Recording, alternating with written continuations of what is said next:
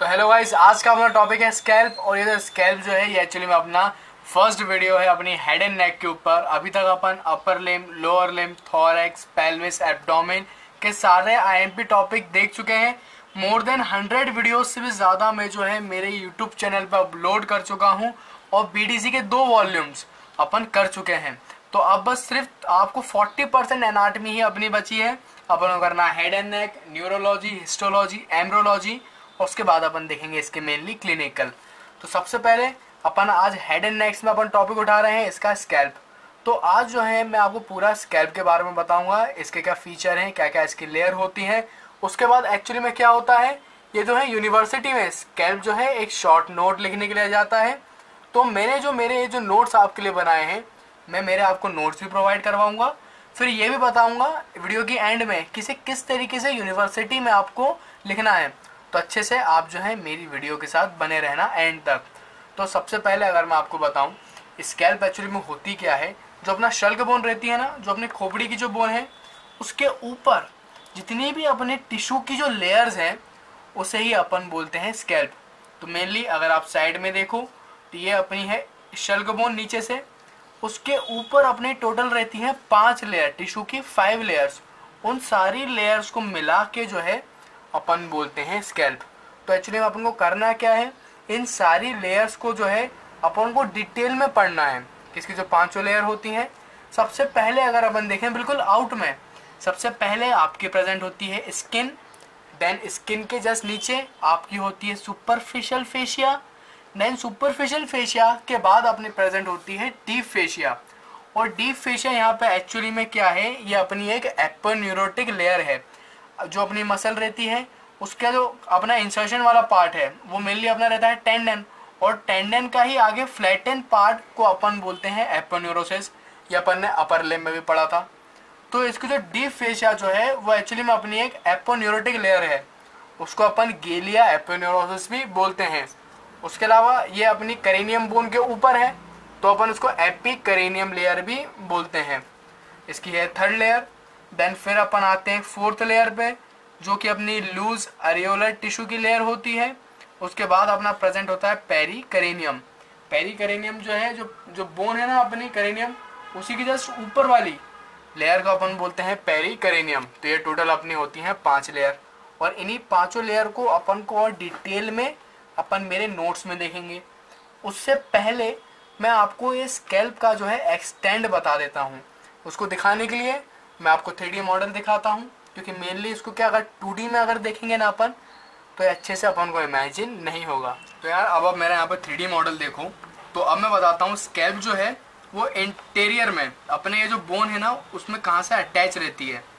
तो mainly interior में ये आपको दिख रहा होगा, इसको अपन बोलते हैं बोनी ऑर्बिट क्योंकि इसके अंदर प्रेजेंट अपना रहता है आई देन इस जस्ट इस बोनी ऑर्बिट के सुपीरियर में, ये जो मार्जिन है ना, ये वाली इसी को अपन बोलते हैं सुप्रा ऑर्बिटल मार्जिन।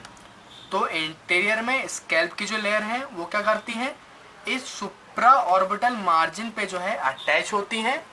देन यहाँ से पूरा एक्सटेंड करेंगी और अपना जाएँगे पोस्टेरियर साइड में। और पोस्टेरियर साइड में अगर आप देखो, आपको हल्का सा एक एलिवेशन दिखेगा। उसे अपन बोलते हैं एक्सटर्नल ऑक्सीपिटल प्रोटूबरेंस ये आपको दिख रहा है ना? तो पोस्टेरियर में इस एक्सटर्नल ऑक्सीपिटल प्रोटूबरेंस पर अटैच होती है। तो आपकी सुपरा ऑर्बिटल मार्जिन से आएगी अटैच होके एंड पोस्टीरियर में। यहाँ पे जो आपको दिख रहा है ना ये प्रोटूबरेंस वहाँ तक अपनी होती है अटैच उसके अलावा, ये जो एक्सटर्नल ऑक्सीपिटल प्रोटूबरेंस जो है, वो आपका पूरा एक लाइन दे रहा है। ये आपको दिख पा रही होगी।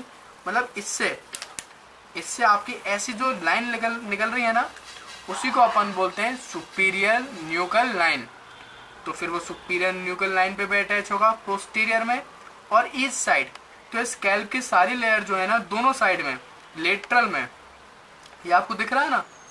ये, इसको अपन बोलते हैं सुपीरियर टेम्पोरल लाइन तो ये दोनों साइड में सुपीरियर टेम्पोरल लाइन पे जो है अटैच होगा.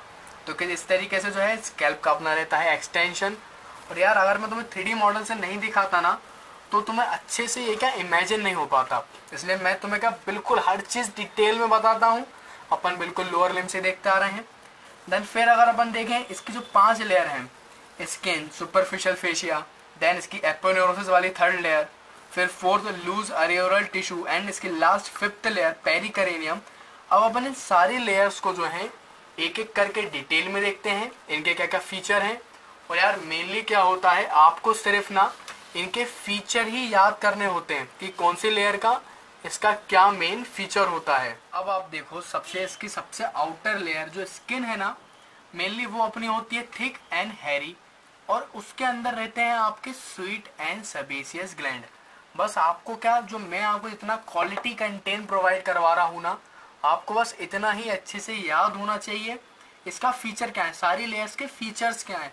तो मेनली स्किन पे आप याद कर लेना कि वो थिक होती है और उसके अंदर मेनली अपने प्रेजेंट होते हैं बहुत सारे हेयर्स उसके अलावा उसके अंदर अपने स्वीट एंड सबेसिस ग्लैंड भी प्रेजेंट होते हैं। फिर अपन इसकी सेकेंड लेयर पे आते हैं, ये वाली लेयर पे, जो कि अपनी है सुपरफिशियल फेशिया और यार मेनली जो सुपरफिशियल फेशिया है ना, वो क्या करती है? अपनी स्किन को, इसकी जो थर्ड एपोन्यूरोटिक लेयर है ना, उससे अटैच करवाने का काम ये करती है। तो तुम अच्छे से याद कर लेना कि सुपरफिशियल फेशिया क्या कर रही है? वो अपना स्किन को, इसकी जो थर्ड लेयर है ना एपोन्यूरोटिक लेयर उससे अटैच करवाने का वो काम करती है। उसके अलावा जो स्किन है ना, उसका मेन कंटेंट अपना होता है ब्लड वेसल्स और यार, यही एक मेन रीजन है कि अगर अपन को थोड़ा सा भी, अगर अपन को शल्क बोन पर लग जाती है ना तो अपन का जो है ब्लड निकलने लगता है, खून निकलने लगता है। क्योंकि मेनली अपना जो सुपरफिशियल फेशिया है ना उसके अंदर बहुत ज़्यादा अपने रहती हैं ब्लड सप्लाई फिर इसके अंदर अगर अपन देखें तो ये जो लेयर है वो मोर फाइब्रस एंड डेंस होगी इन सेंटर में, कि मेनली जो इसकी जो सुपरफिशियल फेशिया वाली लेयर है ना, वो अपने सेंटर में, बीच वाले पार्ट में वो ज़्यादा फाइब्रस और डेंस होती है एज कंपेयर अपन करें पेरीफेरी में। उसके अलावा ये मैं आपको बता ही चुका हूँ, ये कंटेन करती है अपने ब्लड वेसल और ये अपनी स्किन को इसकी एपरोटिक लेयर से अच्छे से अटैच करवाने का काम वो करती है। उसके अलावा जो सुपरफिशियल फेशिया है ना उसके अंदर अपनी तीन मसल भी प्रेजेंट होती है। मेनली क्या होता है पहले आपका है मानो ती, तीन उंगली से आपको बताता हूँ। पहले है स्किन देन है सुपरफिशियल फेशिया देन है डीप फेशिया तो ये सुपरफिशियल फेशिया और डीप फेशिया के बीच में अपनी तीन मसल होती हैं। एक्चुअली में तीनों मसल जो हैं ये सुपरफिशियल फेशिया के लोअर वाला पार्ट नीचे वाले पार्ट में रहती है और वो मेनली अपने, ये जो तो इसकी जो थर्ड लेयर है ना, इसकी एपोनोटिक लेयर उसमें जाके वो अटैच होती हैं। तो मैं अब आपको बताऊँ कौन कौन सी मसल है और इन मसल में भी यार सिर्फ़ आपको इसकी अटैचमेंट और इसका नव सप्लाई ये दो चीज़ें आपको मेनली याद करना होता है। सबसे पहले इसकी मसल है, वो है फ्रंटो वो है ऑक्सीपिटो फ्रंटालिस मसल ये नाम से ही बिल्कुल क्लियर समझ में आ रहा है कि इसकी दो बैलीज होंगी। एक इसकी होती है ऑक्सीपिटल बैली दूसरी इसकी होती है फ्रंटल बैली मैं आपको क्या, इसको थ्री मॉडल में भी दिखा देता हूँ तो आपको और अच्छे से इमेजिन होगा। तो अब आप यहाँ पर मेरे थ्री मॉडल में देखो।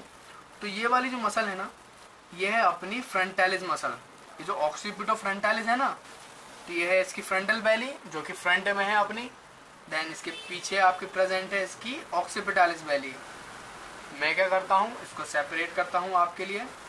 ये अब आपको बिल्कुल क्लियर दिख रहा होगा इसकी ऑक्सीपिटल वैली तो अगर अपन देखें तो इसकी जो ऑक्सीपिटल वैली है ना, वो अपनी होती है स्मॉल अगर अपन फ्रंटेलिस से कंपेयर करें ना तो उसके कंपेयर में इसकी ऑक्सीपिटल वैली अपनी होती है स्मॉल और यहाँ पे दो प्रेजेंट होंगी, दोनों साइड तो इसकी दोनों की दोनों ऑक्सीपिटल वैली जो है, वो अपनी सेपरेट रहती हैं। पहले तो छोटी है, ऊपर से दोनों की दोनों सेपरेट भी हैं। वहीं अगर अपन फ्रंटेलिस मसल देखें तो उसकी जो बैली है, वो मेनली लार्ज है और जो दोनों बैली जो होती हैं, वो अपनी पार्शली यूनाइटेड होती हैं। मैं आपको दिखाऊँ, यहाँ पे तो ये मेनली लार्ज हैं और जो इसकी सेम साइड में एक और मसल होगी, वो दोनों की दोनों जो है अपनी पार्शली यूनाइट होंगी, जुड़ी हुई रहेंगी। उसके अलावा, अब अपन इसका देखें अटैचमेंट तो मेनली जो ऑक्सीपिटालिस मसल है ना, वो अपनी कहाँ से अराइज होती है?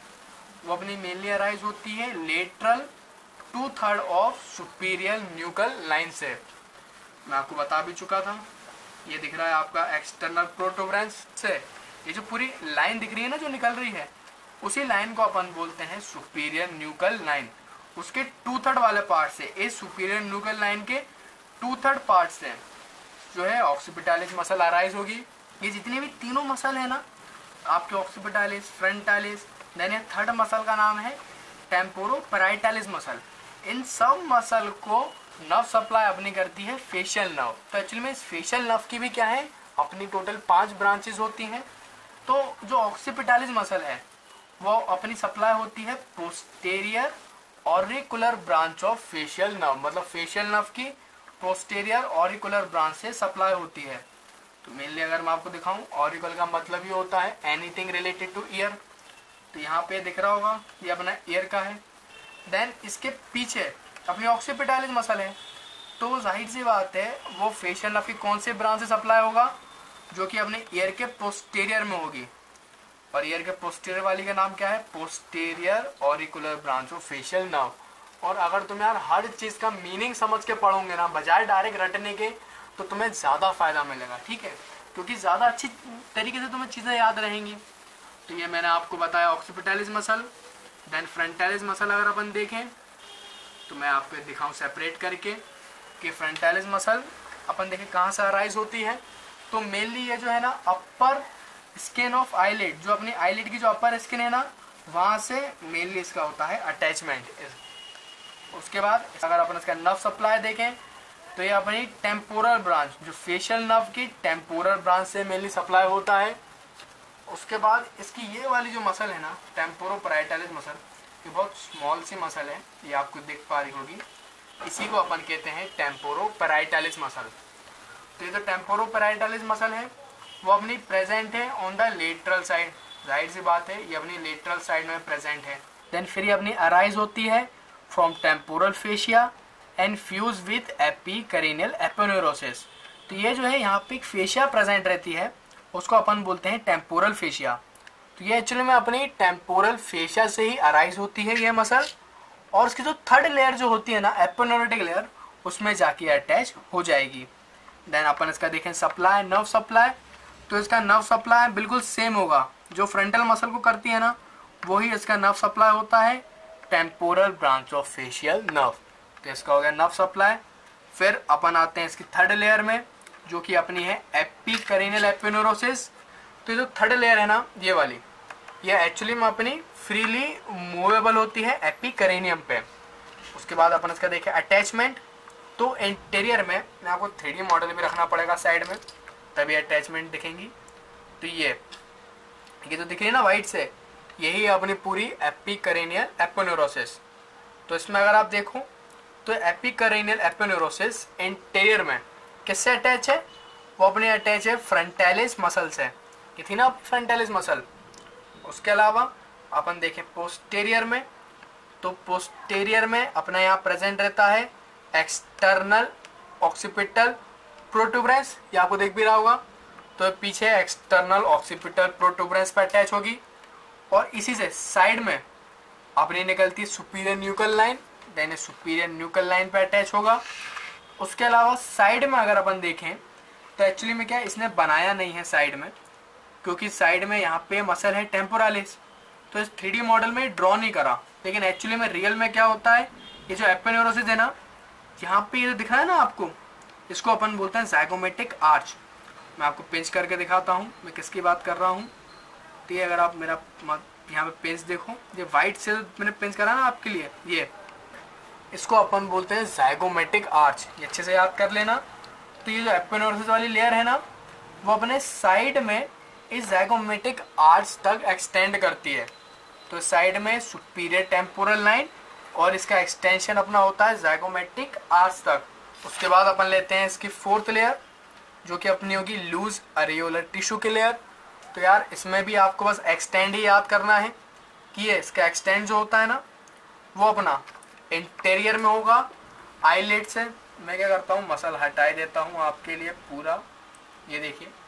तो इंटीरियर में ये अटैच होगा अपना आईलेट से उसके बाद पोस्टेरियर में वही सुपीरियर न्यूकल लाइन से और इस साइड में, ये आपको दिख रहा होगा, इसको अपन बोलते हैं सुपीरियर टेम्पोरल लाइन और यार, आप क्या करो, ये जो इसके तीनों एक्सटेंड है ना, आप तो याद कर लो। क्योंकि मोस्ट ऑफ़ लेयर्स में ये तीनों अटैचमेंट इसके सेम ही है इंटीरियर पोस्टीरियर और इस साइड की। तो आपको क्या ज़्यादा याद करने में मेहनत नहीं लगेगी? तो आप क्या ये याद कर लो, क्योंकि मोस्ट ऑफ़ लेयर्स में तीनों लेयर सेम ही है अपनी इसके अटैचमेंट फिर अपन देखते हैं इस लेयर का की पॉइंट क्या है। तो एक्चुअली में ये जो लेयर है ना लूज एरियोलर टिश्यू की लेयर इसमें आपका प्रेजेंट होता है इमिजरी वेन्स और मैं आपको बताऊँ, ये इमिजरी वेन करती क्या है? ये मेनली अपना एक्सटर्नल करीनियल वेन को इंटरनल करीनियल वेन से जोड़ने का काम वो करती हैं। एक्चुअली में क्या होता है, जो इंटरनल वेनस साइनस जो होता है ना, मैं आपको उसको थ्री मॉडल में दिखा दूँगा। ये पूरा अपने जो जो पूरा अपना जो शल्क वो है ना, उसके अंदर पूरा अपना एक साइनस होता है वेन्स का। तो वो उन सबको एक्सटर्नल करेनियल वेन, जैसे कि हमने internal jugular vein, external jugular vein, उससे मेनली कनेक्ट करवाने का काम जो है वो इमेजरी वेन करवाती हैं। और मेनली अपने इमेजरी वेन को पैसेज कौन प्रोवाइड करता है? वो आपको पैसेज प्रोवाइड करेगा लूज अरियोलर टिश्यू तो आप अच्छे से ये पॉइंट याद कर लेना। देन फिर अपन इसकी लास्ट लेयर पे आएँगे, जो है इसकी एपिक करीनियम वाली लेयर तो यार जो इसकी एपिक करीनियम वाली लेयर जो है, वो एक्चुअली में अपनी लूजली अटैच होगी सरफेस ऑफ़ बोन मतलब कि जो बोन की सरफेस है ना, उसमें ये वाली लेयर लूजली अटैच होती है। और मेनली जहाँ पे भी अपने शल का बोन में जो फ्यूचर प्रेजेंट रहते हैं ना, वहाँ पे जो है ये फ्यूचर वाली लेयर जो है, वो अपनी फ्रेमली अडराइंड होती है। तो यार ये सारी लेयर्स के मैंने आपको जो है ना स्पेसिफिक पॉइंट बता दिए। और जितना भी मैंने मेरे नोट्स में प्रोवाइड करवाया ना, वो बिल्कुल क्वालिटी कंटेन है। तो अब आप क्या करो, मैं आपको इसका पूरा स्क्रीनशॉट प्रोवाइड कर देता हूँ, मेरे सारे नोट्स का। और अगर इसका स्क्रीनशॉट में अच्छी क्वालिटी नहीं आए मेनली क्या होता है स्क्रीनशॉट वगैरह में अच्छी क्वालिटी तो आएगी नहीं। तुम क्या करो, मेरी इंस्टाग्राम की आईडी में तुम्हें दे दूँगा, वहाँ पे जाओ, वहाँ पे मैं तुम्हें लिंक प्रोवाइड करूँगा, वहाँ से तुम्हें सारे के सारे एचडी नोट्स मेरे तुम्हें वहाँ मिल जाएँगे तो वहाँ से तुम्हें एच नोट्स के डाउनलोड कर लेना। उसके अलावा मैं तुम्हें फिर ये भी बताऊँगा, इसको यूनिवर्सिटी में कैसे लिखना है।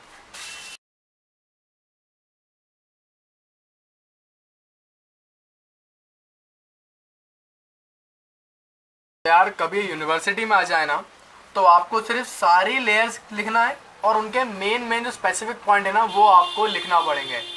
मतलब मैं आपको बहुत बार बता चुका हूँ अपर लिम लोअर लिम में भी अपन मेनली लिखते हैं हेडिंग में और पॉइंट्स में, ना कि पैराग्राफ में लिख के, क्योंकि जितना आप अच्छे से लिखोगे एग्जामिनर को उतने अच्छे से समझ में आता है। वो मेनली आपको रिप्रेजेंटेशन ही देखता है कि किस तरीके से जो है आप अपने आंसर का रिप्रेजेंटेशन कर रहे हो, क्योंकि नॉलेज तो यार सबके पास है।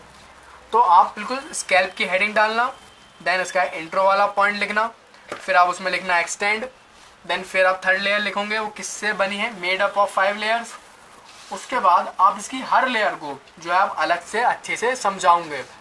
देन इसकी हर स्पेसिफिक लेयर्स को आप समझाना। उसके बाद आपको ये एक डायग्राम जो है ना, ये साइड में, ये वाला एक डायग्राम आपको बनाना पड़ेगा। जब बी देखोगे तो उसमें क्लियरली ये डायग्राम मिल जाएगा, जिसमें आपकी सारी लेयर्स इसमें अच्छे से डिटेल में है। पहले स्किन फिर दूसरी सुपरफिशियल फेशिया फिर डीप फेशिया फिर loose areolar tissue then pericranium बिल्कुल सारे लेयर्स का सेपरेट में दिखनी चाहिए। ऐसा बिल्कुल क्लियर आपको एक डायग्राम बनाना है। और क्या होता है मेनली इसका ब्लड सप्लाई जो है ना, वो भी बहुत इंपॉर्टेंट रहता है। तो इसकी जो पार्ट टू वीडियो है ना, वो बिल्कुल मिस मत करना। एक्चुअली में इसकी पार्ट टू वीडियो में, मैं आपको उसका समझाऊँगा ब्लड सप्लाई ये अपनी इसकी पार्ट वन वीडियो है, जिसके अंदर अपन ने इसका पूरा का पूरा लेयर्स के बारे में समझाया। और उसकी पार्ट टू वीडियो के लिंक है ना, बिल्कुल आई बटन पे है। तुम बिल्कुल टाइम वेस्ट मत करो आई बटन पे जाओ और उसकी पार्ट टू वीडियो भी देख लो। तो thanks for watching and keep learning